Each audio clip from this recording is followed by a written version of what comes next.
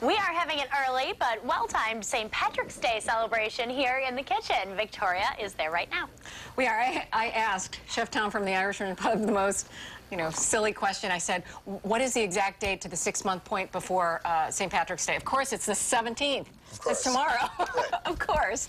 We are making um, a Reuben soup. Yes, a Reuben chowder. I've never heard of something like that. Yeah, it's a soup we're going to be featuring all weekend at the Irishman, so. Okay, and we're going to just start. I'm going to, you've given me the task. Yes. You've given me a knife, which most don't do, of just chopping up the celery. We're going to chop up all of up the this. celery. Celery, onion, carrots, and then the corned And beef. then the corned beef itself, yep, and that's pretty much all the prep that's involved. Okay, so I'm going to start chopping up the celery. You guys have a special event this weekend in celebration of the six months before St. Patrick's Day. Yes. Tell us about that. What can people expect? Well, people expect uh, live music, uh, Irish dancers.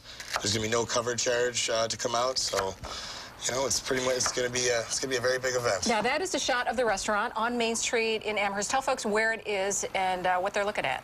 Uh, it's right in the village of Williamsville. It's right next to the uh, village municip- municipal building, right on Main Street. And yeah, pretty much you're going to find uh, the best Irish food in Buffalo. You're going to find also Guinness and every Irish beer you pretty much can imagine this weekend. So pretty much all you need. Pretty much all you need for a good party. What are the hours that people can come in and enjoy the party?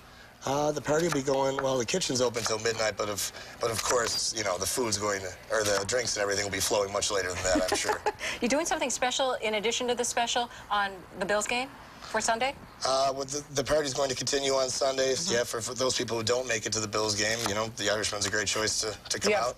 uh, monitors, television, you'll be showing yep, the yep, you'll be able to see the game and come out and have a good time, have a good party with us. What are some of the best uh, dishes that you have there, and most popular at the Irishman Pub? Well, some of the most popular ones are probably the corned beef and cabbage dinner, obviously. Uh, our Guinness barbecue wings, very popular.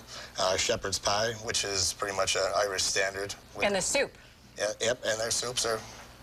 This soup, This soup, can you get it This soup year-round? is not normally. Uh, it's not on the menu yet, but Okay. it's probably. It may, it may be right now. It's but it's going to be the week this weekend. We're going to have it. So.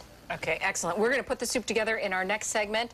Um, but remember, Irishman Pub this weekend, great party, celebration of St. Patrick's Day, which we always do here in Western New York. Of course. All right, thank you, Chef Tom. Back to you, Allie.